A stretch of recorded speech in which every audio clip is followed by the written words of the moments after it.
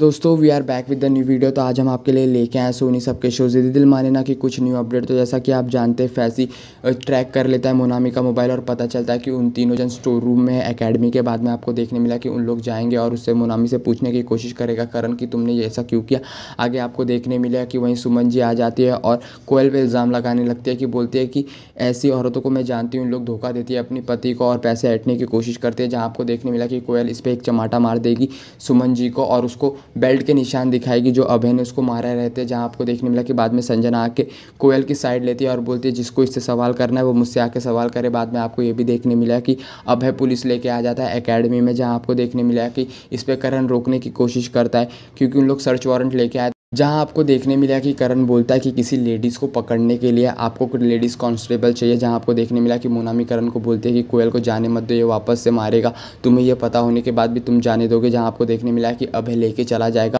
कोयल को अपने साथ और आपको देखने मिला कि जब वो लेने आया रहता है तो सीट का भी झगड़ा हो जाता है। उससे आगे आपको ये भी देखने मिला कि करण प्लान बनाता है कि उसे ले जाने तो उसे लगेगा कि वो जीत चुका है, पर अब हम वापस से बैक फायर करेंगे और उसको उसके सही जगह पर लाएँगे। तो आज के लिए इतना तो मिलते हैं नई वीडियो के साथ। तब तक के लिए बाय बाय